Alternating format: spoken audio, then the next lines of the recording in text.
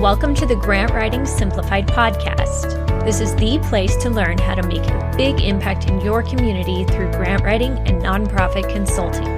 The world needs you to step forward as a grant writer and use your skills to lead with confidence.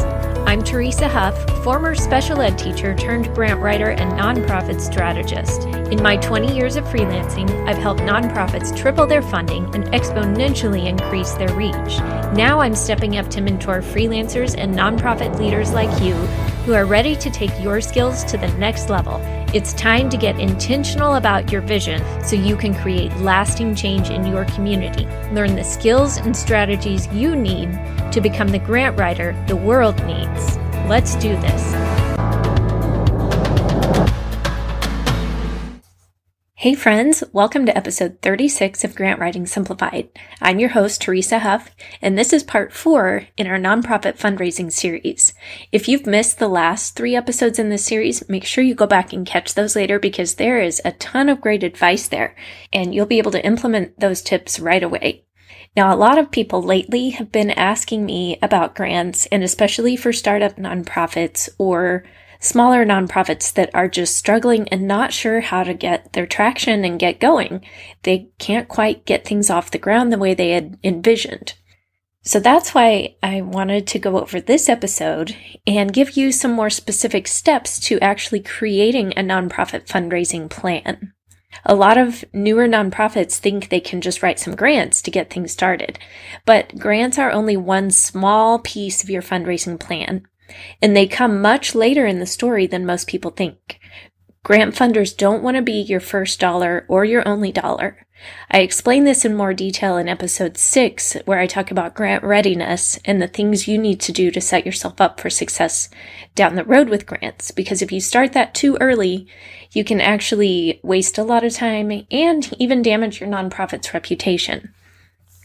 In this episode, though, I want to help you look at the bigger picture of your fuller nonprofit fundraising plan. And I'm talking to both nonprofits and grant writers here because nonprofits need to understand where you are in the process so that you can focus your efforts more effectively and set realistic goals. And for grant writers, chances are you're going to need to advise clients or potential clients sooner or later so that you and they aren't chasing dollars.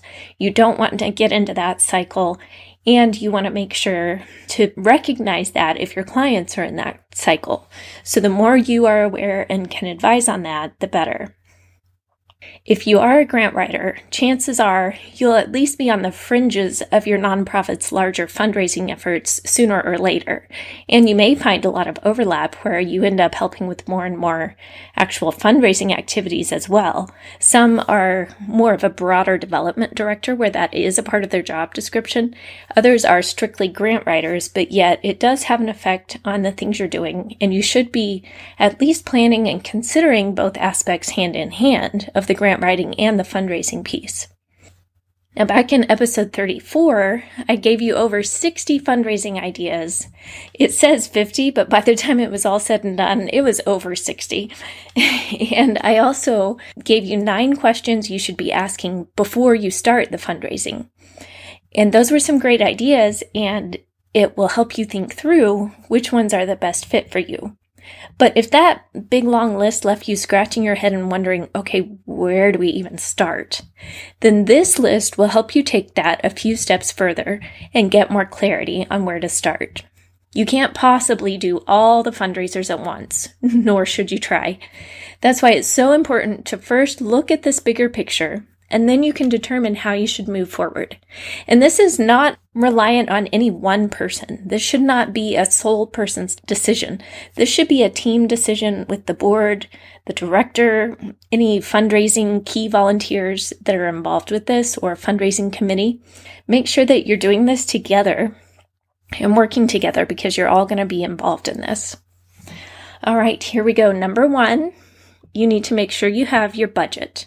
This includes your past budget so that you know your spending in the past and your projected budget of what do you want to spend and where do you want to be? What kind of income goals do you have for that? Number two, you need to really have a clear vision mission, and core values for your nonprofit. Now, if you don't have these, or if you just feel like they're a huge mouthful or they're really lame, then this is what I help nonprofits do. We work together to develop the strategy and really dig deeper to make sure we're putting together a powerful vision and mission that drives home what you do, who you do it for, and just really is a compelling statement about you in a nutshell. So if you are struggling with that piece, book a strategy call and let's get that settled. Number three, your goals. You need to set fundraising goals and make sure these are well defined enough so that you'll know when you've reached them. Don't just say, we want to raise money to build a new building. Be a lot more specific than that. And if that is your goal, that's great, but maybe break it down into several smaller goals as well and several steps along the way, kind of have some landmarks. Number four, consider your community. Look at what events are coming up, or maybe what events tend to be recurring each year or twice a year, each quarter, and look at trends. What's becoming more popular?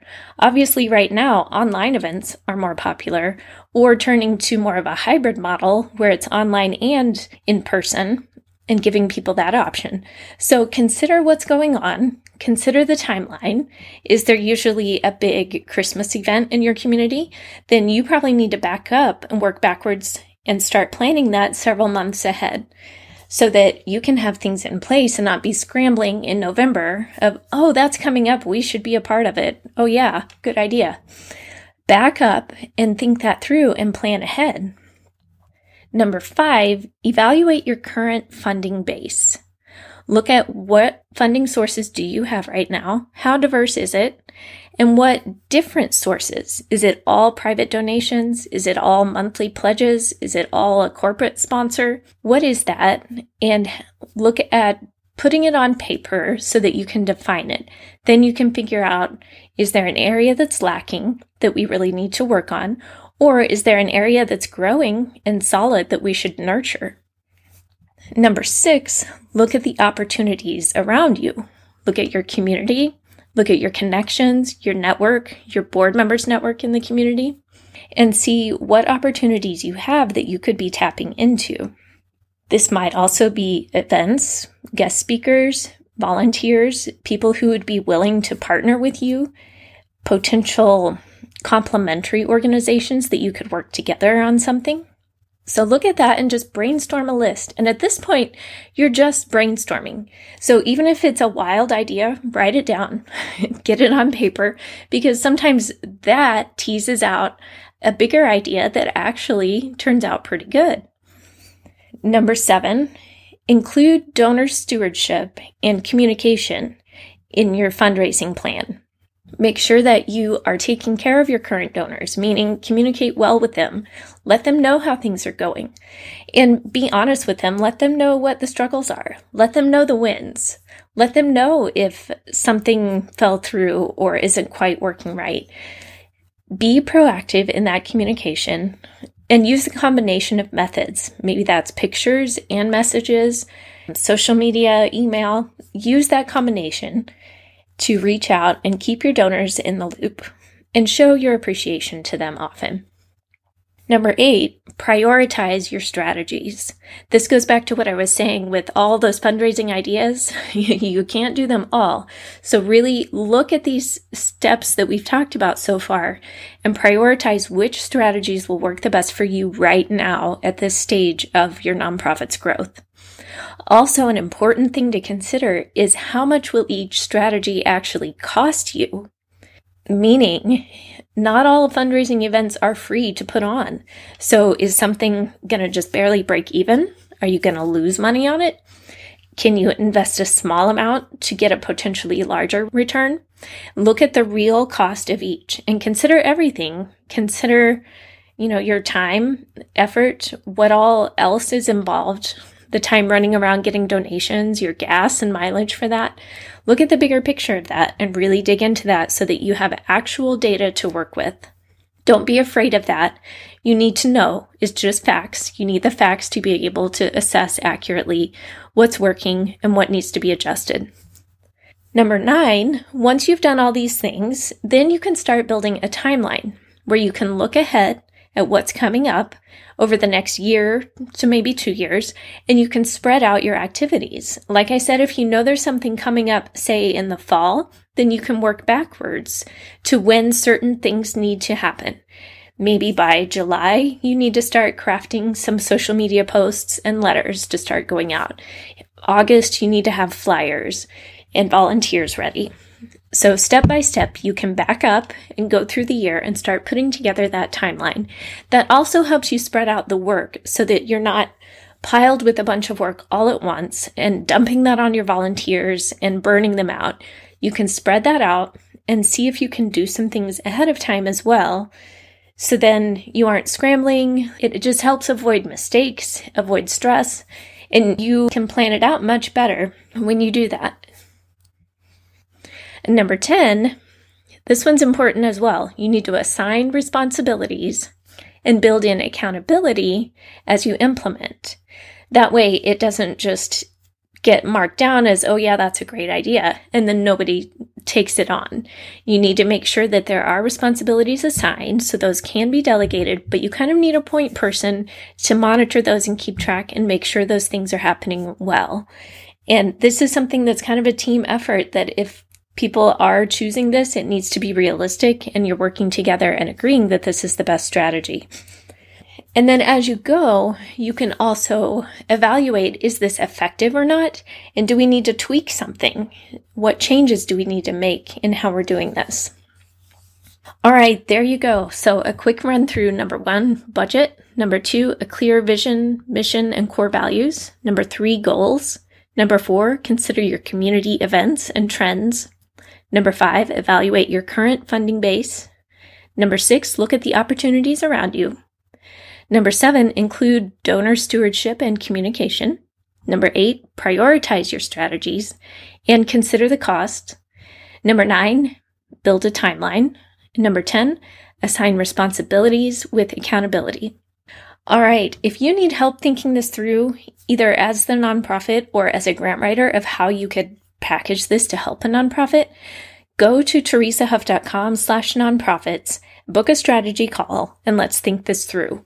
I don't want you stuck. I don't want you sitting there spinning your wheels and wishing you could be more effective, but not knowing how. Let's get you moving forward. You can do this, my friend. We need you out there doing this. So sometimes just a one hour call can help put a lot of pieces into place and you can save a ton of time and frustration and stress because then it just helps you figure out what you need to focus on and how you need to move forward right now. You don't have to do all the things. You just need to do the next right things and keep doing that. And that is how you change the world. All right, my friends, have a great week. If you love this show and you learned something new about being the type of grant writer the world needs so you can create a ripple in your community, please go leave me a review over on Apple Podcasts today. Thanks for listening. Now go change your world.